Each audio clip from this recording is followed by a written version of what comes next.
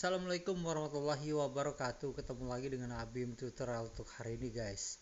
Nah kali ini kita uh, akan mencoba ya Mereview Google Camera versi 7.4.104 ya. Ya Ini terbaru banget dari Parrot Dari Parrot 043 Oke okay sebelum lanjut ke tutorial atau untuk reviewnya alangkah baiknya teman-teman hayu kita bareng-bareng dukung channel ini bersama-sama.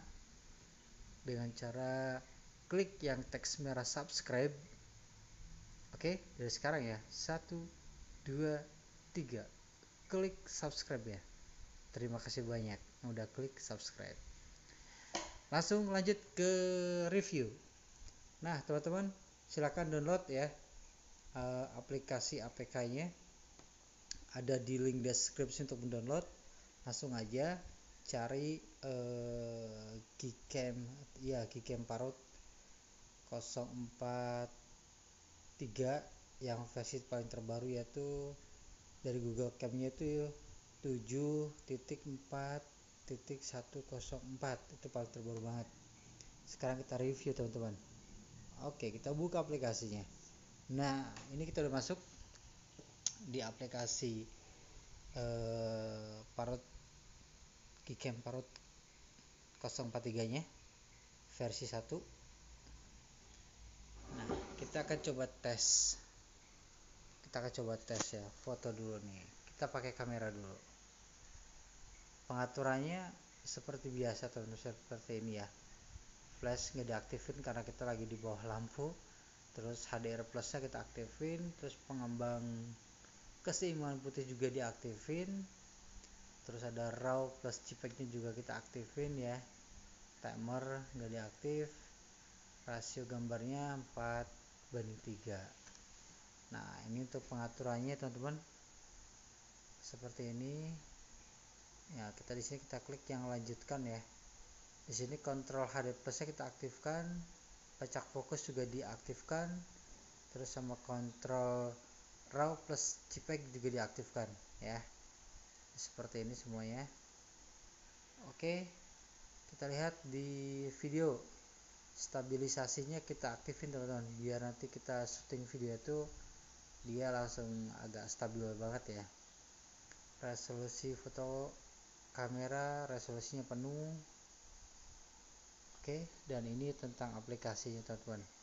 Ini Google Kamera versi 4 eh versi 7.4.104 ya. Ini ada V1 itu pengembang dari Parrot 043 versi satunya dari Google Kamera. Lanjut kita ke pembuktian.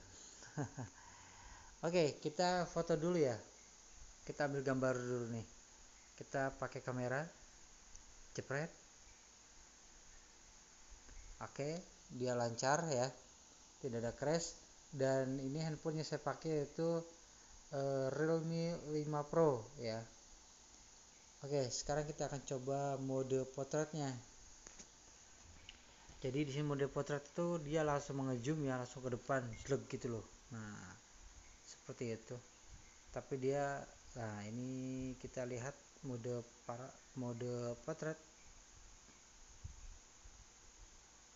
jadi belakangnya ngeblur ya jadi objeknya aja yang jelas ke belakangnya blur. Terus kita coba yang mode malam. Nah untuk mode malam sendiri teman-teman silahkan kalau misalnya mau ngambil view astrofotografinya hidupin ya seperti ini paling atas itu diaktifkan. Dan klik yang ini ya nah yang ini. Nah yang ini nih. Nah yang bintang ada bulan plus bintang. Nah, kita aktifin. Untuk keseimbangan putih kita buat eh, apa namanya aktif aja. Terus raw plus jpeg nya udah diaktifin. Timernya juga kita nggak pakai timer ya. Nah untuk explose nya silakan teman-teman mau gunakan juga boleh. Saya menggunakannya otomatis saja. Nah terus untuk fokus autonya kita pakai yang tak terbatas oke di rasionya tetap masih 4 banding 3 Baik teman-teman, sekarang kita akan coba mode malamnya. Kita cari tempat gelap ya. Di mana tempat gelap ya? oke. Nah ini gelap nih. Ini gelap di posisi ini lampunya mati ya. Kita ambil dulu. Kita jepret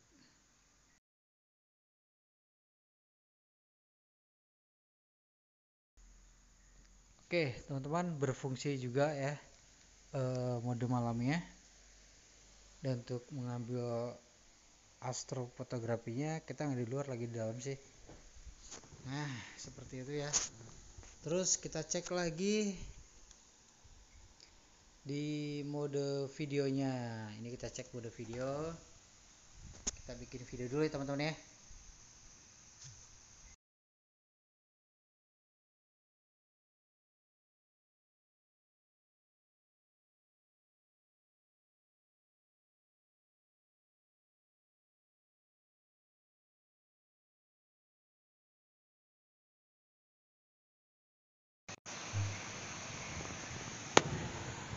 Oke untuk uh, fungsi dari video juga lancar ya lancar jaya tidak ada kendala. Di versi Gcam 7.4.104 dan dilanjut pengembangnya oleh uh, Parrot ya.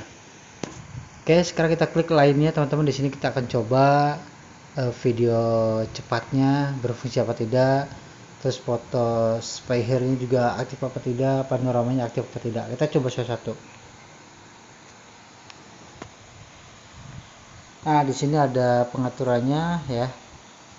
Ini cocok untuk jalan kaki. Ini untuk ketempatan ramai. Ini untuk sunset ya.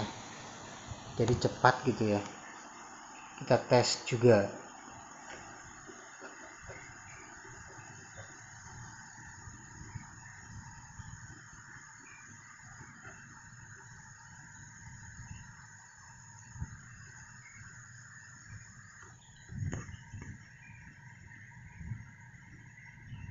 Oke.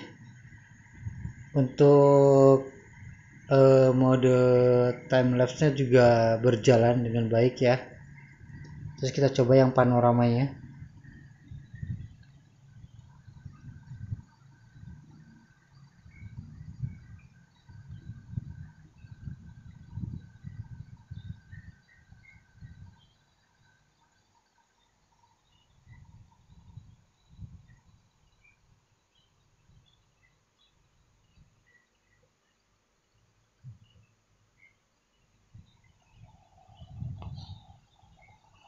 Oke, yang untuk panorama juga udah bagus ya. Udah bisa dipakai. Sekarang kita pakai yang foto spidernya. Nah, ini. Ambil gambar. Kita pasin ke warna yang biru. Oke, kita geser. Geser lagi. Geser lagi.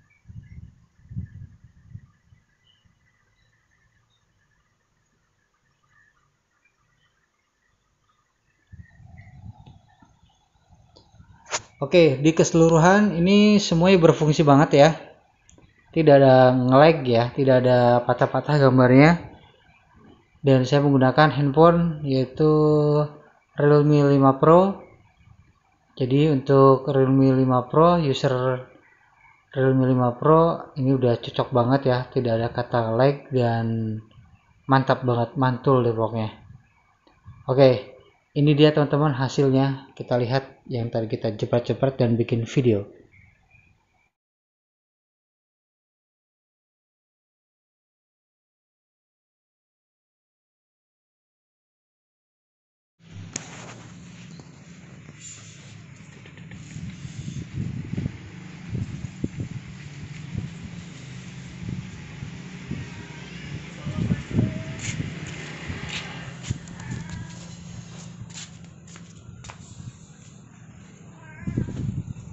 ini Gcam versi 7.4.104 ya? Parut 043